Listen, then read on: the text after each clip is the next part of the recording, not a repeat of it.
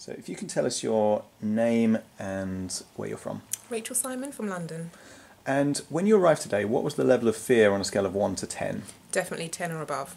And where does it feel like it is now? I would say around a 3, so greatly reduced. Tell us what happened in the workshop today. Today we were involved in immersive experiences. We had hypnotherapy. Um, we learned a lot about spiders, um, why not to be scared of them, why they're useful to us, um, and just kind of to see them in another light, which I found uh, very helpful. Hmm, perfect. And um, were you surprised by the transformation that you experienced today? I was. I wasn't expecting to see um, as uh, big a result as I have. I was able to hold a spider, um, a household spider, tarantulas. Um, so yeah, I think it was very, uh, very productive indeed. And what was your experience of the actual hypnotherapy?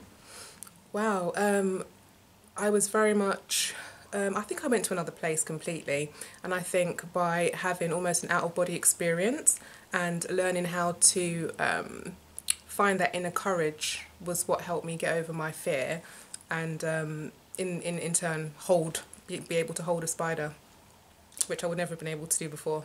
Great. And how do you think your life is going to be different now in the future?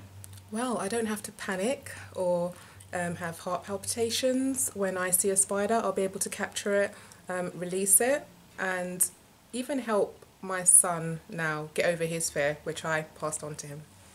Absolutely. And um, would you recommend this course to other people with arachnophobia? Absolutely, absolutely. Um, it will definitely improve your quality of life. I would 100% recommend it. It will only only ever do you good.